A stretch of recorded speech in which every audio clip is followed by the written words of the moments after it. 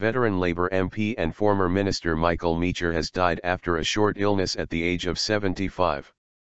Mr. Meacher had been MP for Oldham West and Royton since 1970, retaining the seat with a 14,738 majority in May. Mr. Meacher, seen as being on the left of the party, spent 29 years on Labour's front bench including six as an environment minister under Tony Blair. Labour leader Jeremy Corbyn said he was a man of enormous breadth and intellectual vision. He served in junior ministerial roles in the Wilson and Callaghan governments in the 1970s and at one time was spoken of as a future Labour leader.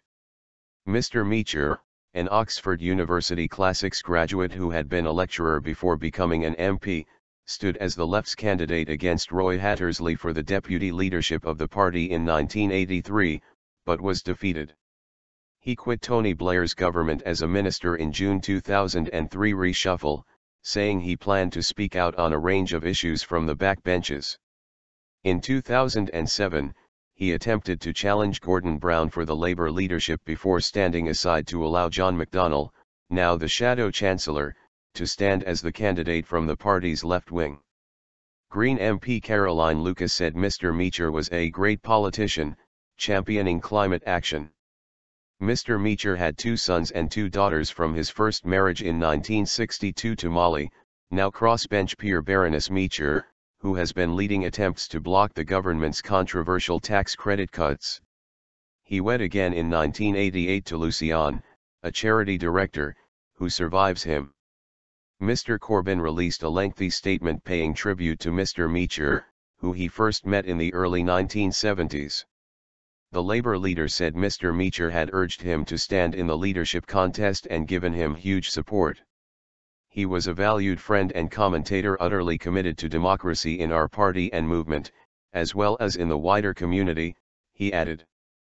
Prime Minister David Cameron described Mr. Meacher as a dedicated parliamentarian who worked tirelessly on behalf of his constituents.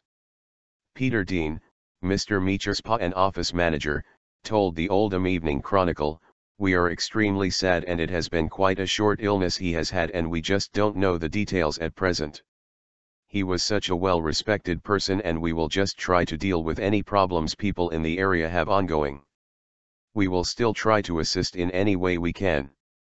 We are extremely sad for his family but all of his staff here at his office have worked with him for 20 years so it is almost like a family bereavement for us. Our office usually deals with around 5,000 cases every year so he has impacted on an enormous amount of people's lives.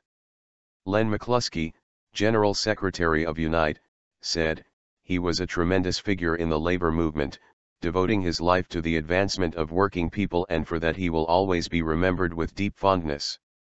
As a personal friend I always welcomed his views and guidance as well as his optimism and commitment to improving ordinary people's lives he was a true friend of the trade union movement. Ex-labor leader Ed Miliband called him principled, kind, committed to a fairer, more just world. The death means a first by-election for Labour under Jeremy Corbyn.